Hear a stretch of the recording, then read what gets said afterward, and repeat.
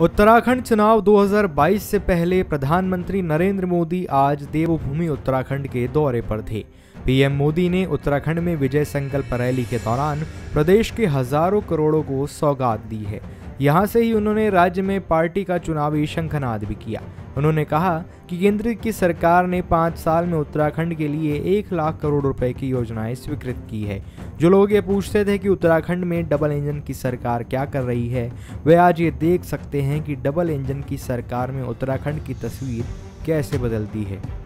PM Modi ने विपक्ष पर हमला करते हुए कहा है कि वन रैंक, वन पेंशन हो, आधुनिक अस्त्र शस्त्र हो, आतंकवादियों को मुँह तोड़ जवाब देना हो, जैसे उन लोगों को हर स्तर पर सेना को हतोत्साहित करने की कसम खा रखी थी।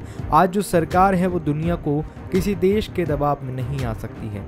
हम राष्ट्र प्रथम, सदैव प्रथम के मंत्र पर चढ़ने वाले लोग हैं। प्रधानमंत्री नरेंद्र मोदी ने यह भी कहा है कि साल 2007 से साल 2014 के बीच जो केंद्र की सरकार थी, उसने सात साल में उत्तराखंड में केवल दो सौ अट्ठासी किलोमीटर नेशनल हाईवे बनाए, जबकि हमारी सरकार ने अपने सात साल में उत्तराखंड में 2000 किलोमीटर से अधिक लंबाई के नेशनल हाईवे का निर्माण किया है।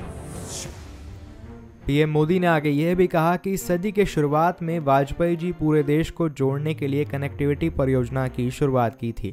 फिर 2004 से 2014 तक 10 साल में देश में इंफ्रास्ट्रक्चर के नाम पर घोटाले हुए और घपले हुए। इससे देश को जो नुकसान हुआ है, उसकी भरपाई के लिए हमने दोगुनी गति से मेहनत की है और आज भी कर रहे हैं। प्रधानमंत्री मोदी ने आज उत्तराखंड को अठारह हज़ार करोड़ रुपए की योजनाओं का सौगात दी है।